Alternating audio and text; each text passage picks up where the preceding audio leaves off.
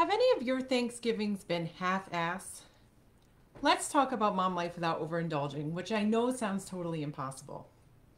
I'm Allison, the Healthy Mom Coach, and I help moms break free from overindulging in unhealthy habits as a way to deal with daily stress and anxiety. My substance of choice was alcohol. What the heck do I mean by having a half-assed Thanksgiving? I'm talking about one that you are not being fully present or putting the maximum effort you can be putting into it to get the most enjoyment and personal fulfillment out of your holiday. Being lucky if you can remember even half of the conversations that you had with your loved ones. What held me back from doing that for years? My overindulging on alcohol every single Thanksgiving since I turned 21. And that's a lot of Thanksgivings. Society has created the belief that it is necessary to have alcohol at holiday festivities.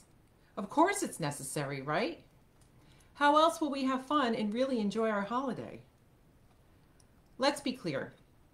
Alcohol numbs your senses, makes you not fully present in any situation, and causes you to not remember and create memories.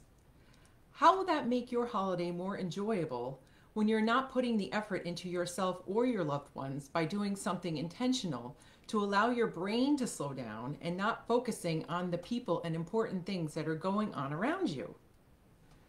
Let me share a little bit about my experience with alcohol on Thanksgiving. What did hosting Thanksgiving look like before I made the change to change my lifestyle to no longer drink alcohol? Well, I would start pouring the red wine even before my guests would arrive.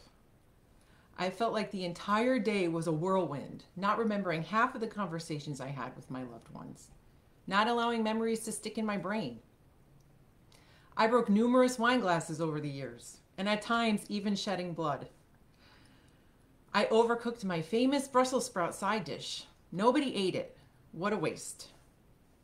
I overcooked the turkey, and you can only imagine what my dad thought about that. One year, I even forgot to put the cranberry sauce on the table. So I had a lot of leftover cranberry sauce that year. And I left my kitchen a mess and went to bed since I was too tired and drunk to clean it up. And cleaning it up the next morning with a hangover was not fun.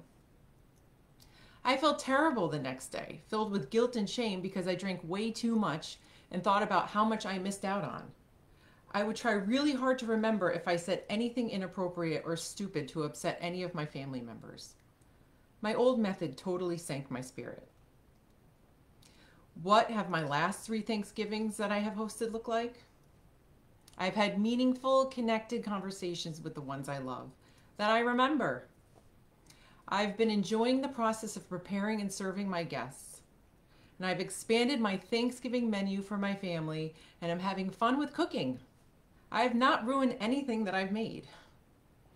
I warm heartedly watch my sons have fun and create memories with their cousins, observing them having pure, clean fun with no alcohol necessary. It makes me realize that adults really can learn a lot from kids. I go to bed with a clean kitchen, peace and joy in my head from the time and the experience that I had with my family and I wake up the next day free of shame and guilt on how my holiday went. Instead, I feel full of energy with time to do what I want to do instead of spending time having to clean up and be lazy all day nursing my hangover.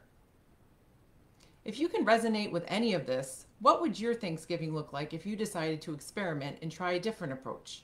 Perhaps an alcohol free mocktail instead of indulging in your favorite wine. Or try some kombucha. There are some great flavors available my favorite being gingerberry, and I love the simple seltzer, cranberry, and lime drink. That's my go-to. How do you think having a clear and present mind would serve you on this holiday? If you want help with this or want to learn more about my coaching, check out my website at thehealthymomcoach.com where you can book a free breakthrough session. I'll be back next week with another video, and in the meantime, enjoy your Thanksgiving.